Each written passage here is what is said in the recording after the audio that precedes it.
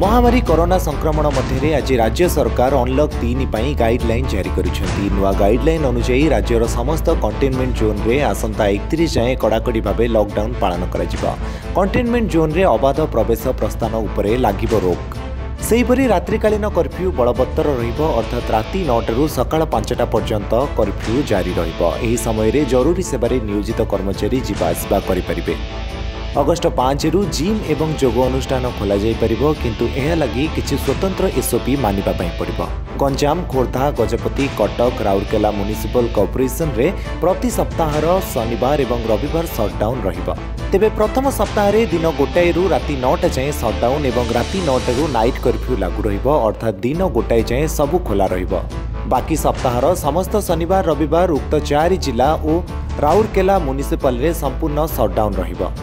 August ଏକତିରିଶ ଯାଏଁ ଶିକ୍ଷାନୁଷ୍ଠାନ ବନ୍ଦ ରହିବ କିନ୍ତୁ ଆଡମିନିଷ୍ଟ୍ରେସନ କାମ ଏବଂ ପରୀକ୍ଷା ଅନୁଷ୍ଠିତ ହୋଇପାରିବ ସେହିପରି ଅଗଷ୍ଟ ଏକତିରିଶ ଯାଏଁ ସମସ୍ତ ଧାର୍ମିକ ସ୍ଥଳରେ ଲୋକମାନଙ୍କର ପ୍ରବେଶ ମନା ରହିଛି cinema hall swimming pool auditorium ସାମାଜିକ ରାଜନୈତିକ କ୍ରୀଡ଼ା ଓ ସାଂସ୍କୃତିକ କାର୍ଯ୍ୟକ୍ରମ ବନ୍ଦ ରହିବ सेलुन पार्लर सुरक्षा माि काम करि परिबे